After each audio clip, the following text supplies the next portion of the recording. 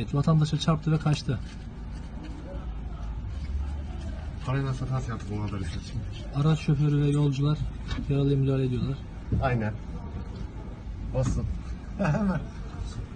Boş ver ondan geç.